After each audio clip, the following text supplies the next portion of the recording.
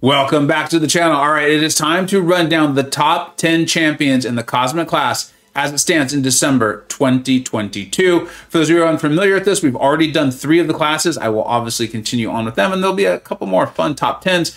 And what I've done is I've polled my server. I put up a few champions, and then people who've earned uh, some honorary roles and titles in my server are then allowed to add some other champions, and then we all vote. Literally, everyone on the server gets a chance to vote.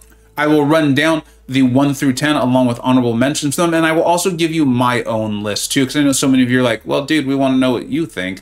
Uh, so that will also be there. Before we jump fully into that list, I want to point out my dog Nova is here. She has recently fallen asleep, but a few seconds ago, she was she was a puppy. Uh, puppy antics for sure. I believe she's going to be disappointed to know that Nova will not be on the top 10 list. And somehow didn't make the honorable mention. I'm going to throw Nova on there myself because he can do things and was a real problem for me in Battlegrounds the other night. But before we jump into the honorable mentions, uh, and I this means they're not on my list nor the server's list. We've got Sersi, Carnage. TJ loves Carnage, loves him, loves, loves, loves Carnage. Uh, Terrax, Silver Surfer, Ronin, Red Goblin, Annihilus, Medusa, Venom. All those are fantastic champions. You can do a lot for you different immunity sets, damage sources, all these things. There's a reason why they're on there. The first one, this is where, I, and there's going to be, a, the last video had some me and the server diverging.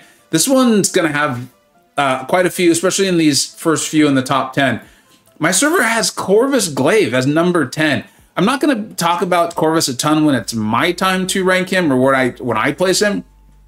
I'm going to attribute this to to two things. To two things maybe people seeing a lot of benefit in other uh, masteries now, right? Like inequity and all these various things, and seeing how much it benefits the champions they enjoy running and playing.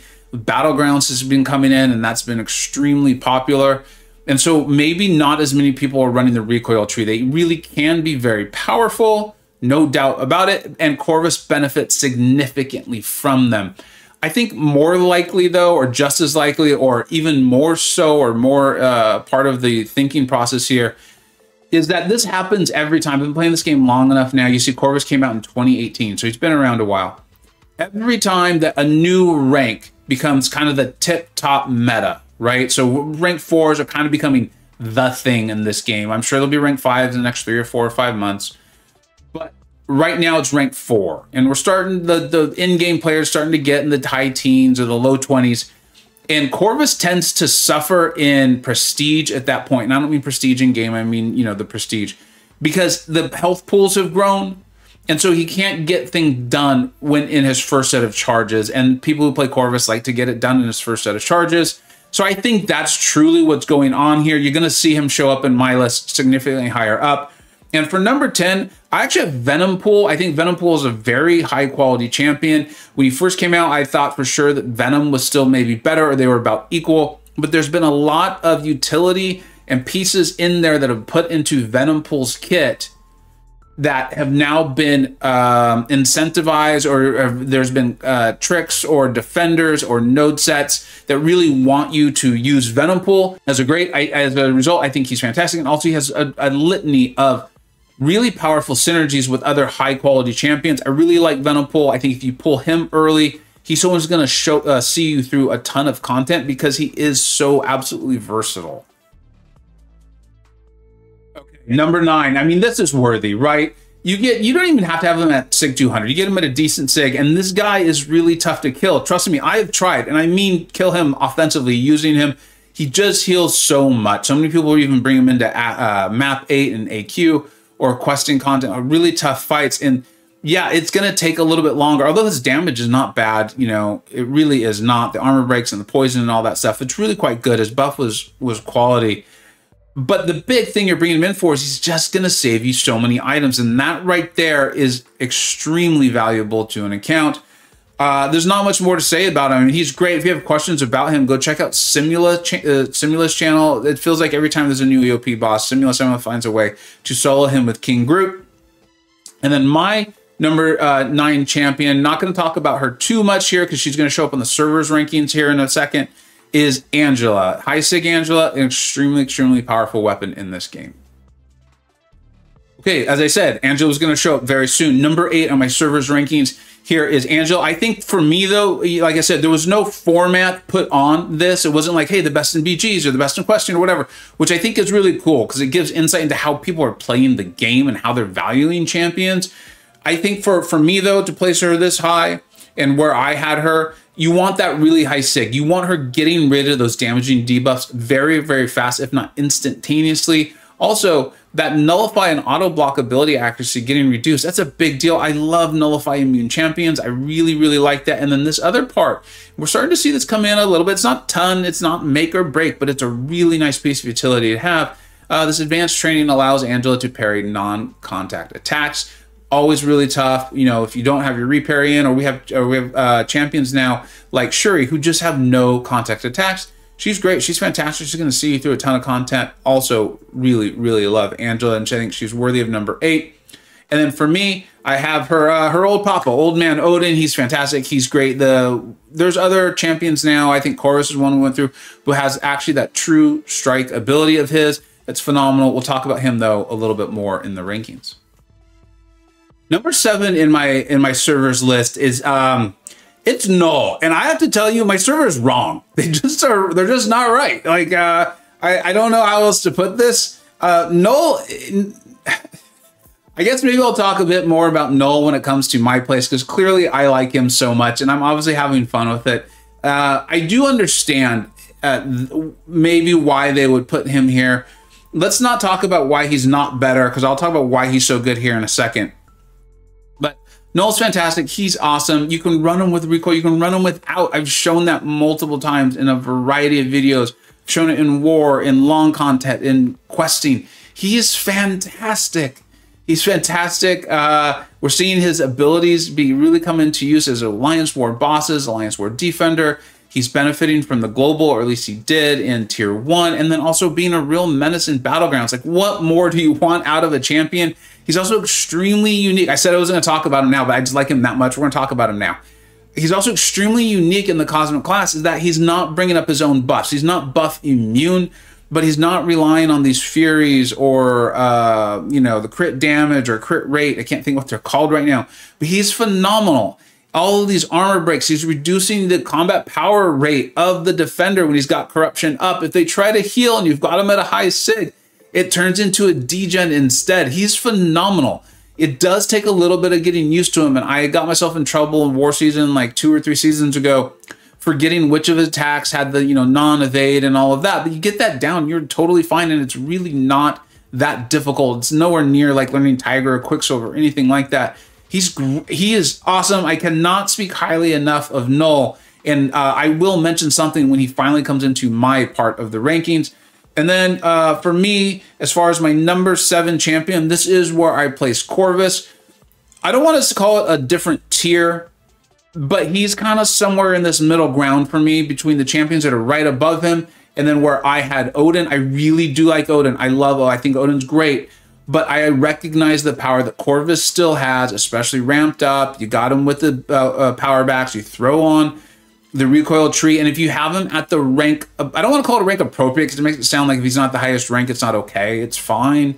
But if you had him at that highest rank that most of the champions really pushing the envelope are being used, you're going to notice a significant difference. If you feel otherwise, if you have experience with a rank 4 Corvus and you're like, hey, you got him too high, let me know. But I really don't think very many people are going to do that. People in my own alliance who have a rank 4 Corvus I, I, giggle when they get to use him in Alliance War. I don't know if they giggle, but I assume they do, and I can see how giddy they are. Really curious to hear your thoughts. Rank 4 Corvus, I think still up there is the number seven, and definitely in a separate tier as far as a top 10 list is concerned than Odin.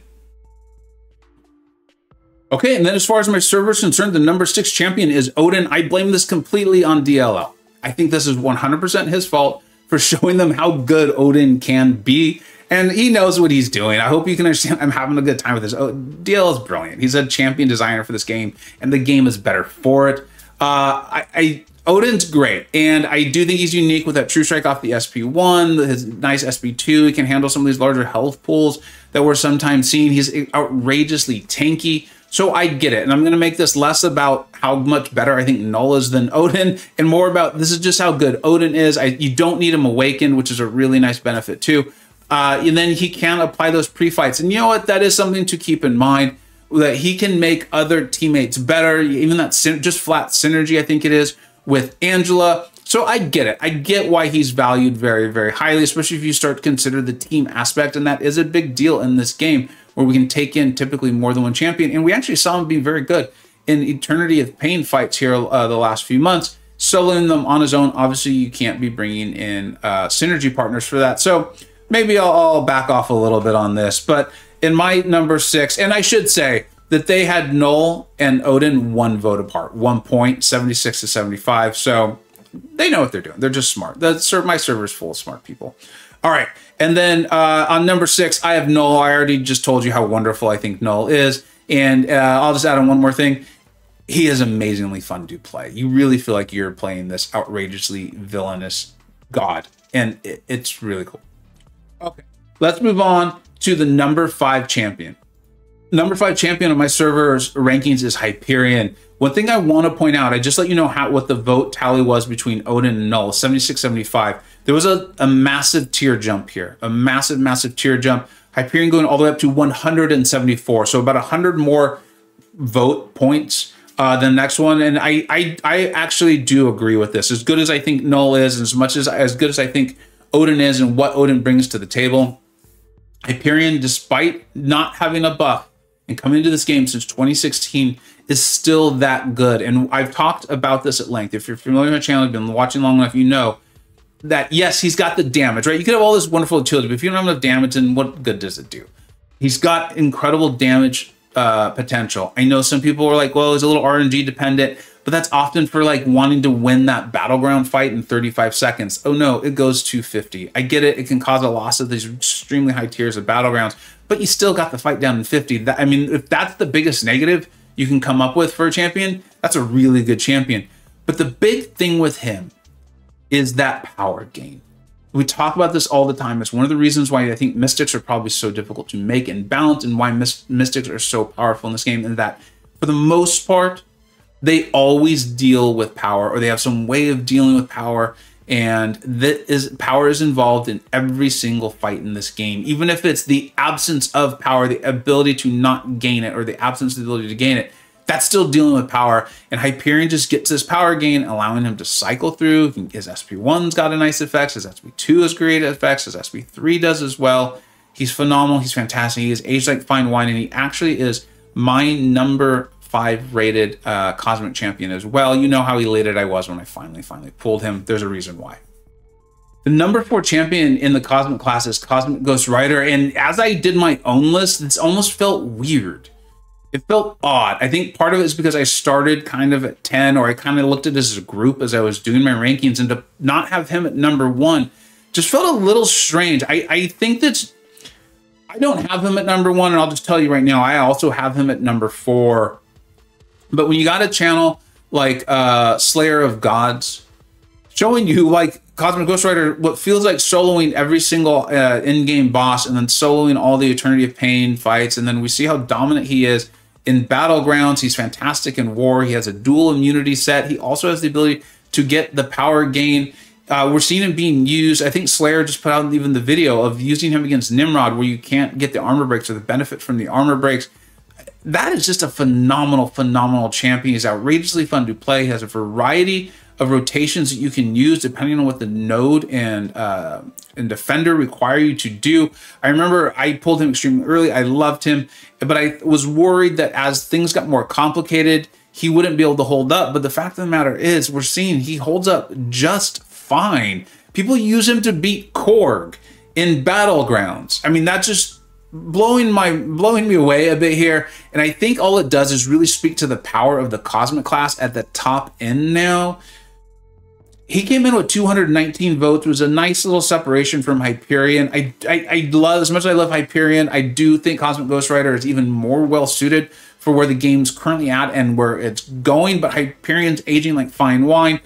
I, honestly, these top five, I all have an argument. I think as we get closer to number one, and that's kind of basically how I started to formulate it, is who has the strongest argument to be number one? Cosmic Ghost Rider number four on my servers list and also on mine. Number three champion on my servers list, and I have to tell you, I agree with them. I agree with them. Where he's good, he is outrageous. He is outrageous. And so if battlegrounds and fights with armor up and and uh, these sorts of things he's uh, resistant to, like what is it, the power drain, right? Let's go ahead and confirm that. I don't want to say it and be wrong. Yeah, immunity, power drain, burn, lock, and special lock. Those are in the game. It feels like they're more and more prevalent. It helps you with Nimrod, really troublesome defender, Penny Parker, these sorts of things. I mean, he is a phenomenal, phenomenal champion. And as I said, as I started to look at this, it was who has the strongest argument, in my opinion, to be number one? Because I think there's five champions who could make an argument. I have it number three. You know, I love him when he and the Quicksilver uh, Cav Crystals were out. I was very honest and I said, I want Galan more. I think Quicksilver's great. I want Galan more. I did a video. I believe I, I was on a summer vacation in Mexico. I think I was on a pool deck. I was about three Mai Tais in or three, I don't know, whatever, some drink. It was a coconut drink, actually, now I think about it. But anyways, I was like three drinks in and I tested him on the CCP server and I was like, I need this guy. He is going to be amazing in war, in battlegrounds. He can be very good in questing, but he's not as eye-popping outrageous as it is in war and in battlegrounds. I think that's what he was made for. They did a phenomenal job. They hit the nail, they hit the target on the head, all those analogies. He's phenomenal. He's great. You don't need him at SIG 200. You do want him awakened. You can see why there, right? It's helping power him up. And I love that. I love champions that power up from things that they are immune to. It's a great, great uh, ability set or, uh, yeah, ability set that they've started putting in the game more and more. I love it. It's fantastic. I think it really goes to this idea of uh, not being niche, right, but having specialties in a game of specialties, not a bunch of generals that are the almost overpowered and a bunch of really niche. There's just this middle ground where they have a variety of uses. He's outrageously strong. He's one of my favorite champions in the game. I, I don't know. Uh, maybe one day I'll do a top 10 my favorite champions. He definitely is one. Rank three, I think you could put him at two. I think you can make an argument for one. I've got him at three. My servers also got him at three. Okay, if you know my channel well, you know this is tough for me to not have Hulkling as the number one champion. But again, there's another champion out there, and I think you all know who it is. Hulkling is phenomenal. Again, I wasn't on the, the vacation just yet, but he's someone who I, I actually, with him, I read the ability, and I was like, this guy, this guy. And then I played him, and I wanted him. I just did, and went out and got him. He's been everything I hoped he would be. Used him in war early, just destroying champions He's got the dual immunity set from damage sources. He's phenomenal. He can go unblockable. Uh, he's a little harder to fight in battlegrounds than I wish he was, but if you get your neutralized champion, you're going to be a-okay. And Mojo's obviously very good against him.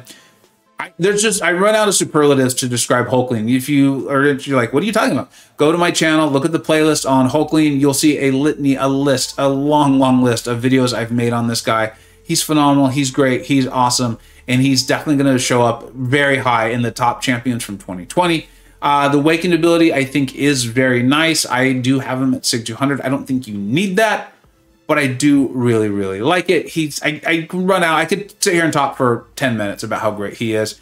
He's phenomenal. Server has him as number two champion, and uh, I have him as the number two champion as well. If you're wondering how I choose between him and Galan, is for me, I think Hulkling is better in a he's like if if Galan's a 10 out of 10 and say like two modes, I think Hulkling's a, a 10 out of 10 or a 9 out of 10. And then I think he's also an 8 or 9 in just general questing, all these other health pools, and things like that as well. It's splitting hairs, but I do think Hulkling has a stronger case to be the number one champion in the Cosmic class. That's why I've got him there. Okay, and then is anyone really surprised? Number one champion in the server rankings and also in my own personal is Hercules. Uh, I wanted to put Hulkling or uh, Galan up there as far as for me, as far as like the most fun to play or or what have you, or the ones I enjoy the most. But I, it would be disingenuous for me to do that. That's a different list. If I'm doing the top ten, I, it's obvious it is Hercules. Um, you know, I think they're probably going to continue to try to work ways in that hurt him a little bit, but he's phenomenal without his awakened ability. And then you go immortal, it's truly just outrageous. People use him to beat things in Alliance War. We all know we play Battlegrounds, you know, knowing he is a defender, the infuriate, uh, and reducing the offensive ability accuracy. He's an amazing, incredible attacker. He's great. He's awesome. He is fun to play. Um, And I, you know, again, when he came into the game, I think everyone knew how good he was. I'm not going to claim some sort of victory on that one. Uh, but I said he, he just feels like the the guy who was telling dad jokes before he's even a dad, right? Like he's just fun. He's awesome. Uh, I, I do think maybe he's a little bit overpowered, a little bit understatement of the year, but he's the number one champion. We're going to see him, I'm sure, when we do the top 10 champions of, in the whole game. I'm sure he'll be very high on that list. I think the only question is, is, is he one, two, three, or four? Uh, thank you so much for watching. Cosmic was an interesting one in that I felt like it was extremely top heavy. Uh, the votes as after I think it was down, you know, we saw how close Odin and Null were at six and seven and even all the way down to, to Corvus was at 48. So was a difference of 76 to 48. And then a massive jump up to 174 for Hyperion. And then Hercules came in at 329. Uh, so I think you can see the Hercules to Hyperion group was tight. Very much the group was the group, the server, and myself are very certain that these are the top five. Um, and then Null soon thereafter and Odin think though that's an interesting sign for me. I think we're going to see some powerful cosmics continue to come into the game. I think so many of us think of them as maybe being the, the strongest class in the game. I know before I did this exercise, I would have maybe thought they were too. But then when I really saw it, I think it's just that they're so incredibly top heavy, and those top five are just so outrageous. When Hulkling and Galan are not the number one champion in the class, that means the class is outrageously strong at the top. Let me know what you think we got right. Let me know what you think you got wrong. You all are doing, I, am really enjoying going back and reading the comments. It feels like somehow the really angry people either aren't commenting or maybe I'm just not making people angry, which is fine. Uh, but I enjoy reading all the comments and learning from you all. I'm very curious to hear about your thoughts on really the whole list, but definitely Corvus and also Venompool. If any of you are like, hey, my account's not that big, I'm relatively new to the game, I did pull Venompool, and you're right. He is helping me handle a ton of stuff. He might not be the best for it, but he can handle a variety of things. Or if you're like, no, dude, you're wrong. He sucks. I would like to know. Thank you so much for watching. We'll be back at this very, very soon with Science and Mutant and then a couple other lists I think you're really going to enjoy. Thank you so much for watching. Take care. I hope you either learned something, were entertained, or even better, a little bit of both. Don't forget to like, subscribe. Thanks so much for watching. Take care.